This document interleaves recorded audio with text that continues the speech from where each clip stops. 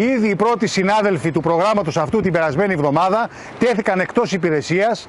Οι συνάδελφοι αυτοί καταλαμβάνουν το 10 με 11% του συνολικού ε, αριθμού των εργαζομένων.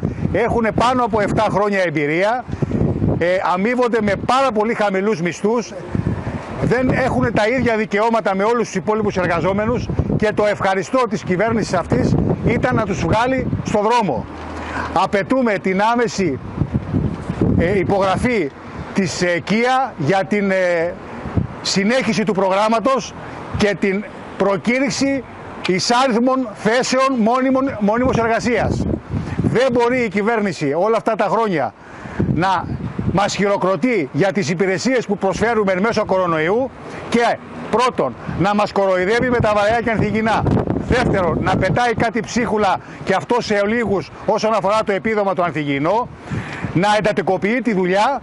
Έχουμε άδειες και οφειλούμε να ρεπό πάνω από δύο χρόνια. Αυτή τη στιγμή συνάδελφοι τους οφείλονται, ειδικά αυτοί που βγήκαν σε, εκτός από την υπηρεσία, πάνω από 50 μέρες. Τι θα γίνουν αυτοί οι συνάδελφοι; Λοιπόν, απαιτούμε αυτή τη στιγμή τη μονιμοποίησή τους. Και ας μην μας πutάνε παραμύθια ότι δεν μπορούν γιατί πρέπει να γίνουν νομοθετικές ρυθμίσεις. Αποδεικνύουν ότι εκεί που θέλουν όπως είναι τα πανεπιστήμια τα ιδιωτικά κάνουν και συνταγματικές αναθεωρήσεις. Λοιπόν ας αφήσουν την κοροϊδία ας κάνουν συνταγματική αναθεώρηση και να μονιμοποιηθούν όλοι οι συνάδελφοι που αυτή τη στιγμή έχουν πάνω από 7 χρόνια και καλύπτουν πάγιες και διαρκείς ανάγκες. 26-27 άτομα νομίζω, 26 άτομα. Αυτοί που τέθηκαν σε αναστολή εργασίας να το πούμε είναι τουλάχιστον δύο και από αύριο ξεκινάμε και συνεχίζουμε και για άλλους.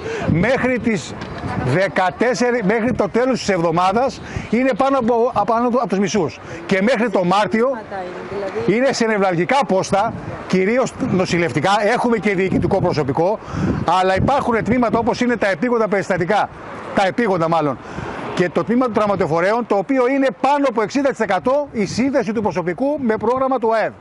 Φανταστείτε δηλαδή ότι την επόμενη εβδομάδα οι ασθενείς θα πηγαίνουν μόνοι τους.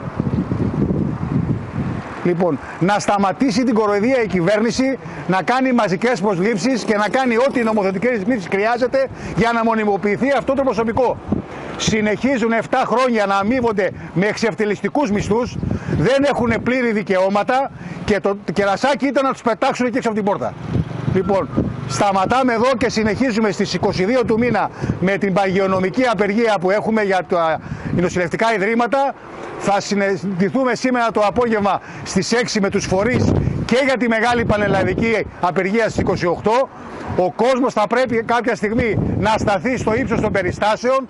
Δεν μπορεί να του παίρνουν το εισόδημα, να του ακριβένουν το κόστος διαβίωσης, να μην έχουν ρεύμα, να μην έχουμε φάρμακα, να μην έχουμε γιατρούς και να καθόμαστε απαθείς. Είναι τα λεφτά τους η ζωή μας.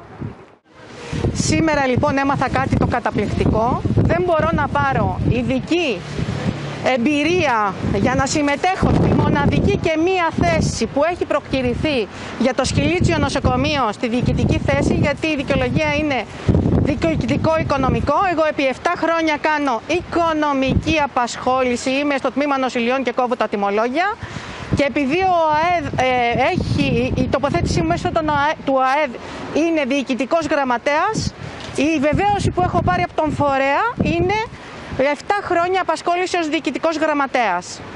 Δεν μου δίνεται καν η δυνατότητα να συμμετέχω στη μία και μοναδική θέση που δικαιολογήθηκε από το Υπουργείο ως μόνιμη θέση διοικητικών γραμματέων διοικητικού οικονομικού για το Σκυλίτσιο νοσοκομείο ή για οποιοδήποτε άλλο νοσοκομείο.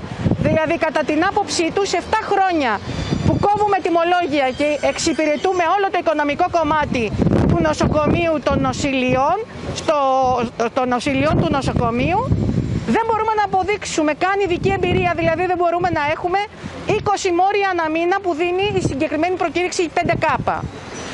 Σε ό,τι αφορά τις εξαγγελίες που έκανε ο κύριος Υπουργός, κύριε Άδειον Γεωργιάδη, δείτε λοιπόν ότι είναι σύμπραξη οι 4.000 εργασίας και του ΑΣΕΠ και του ΑΕΔ. Εμείς περάσαμε από δύο φίλτρα, όχι από ένα φίλτρο.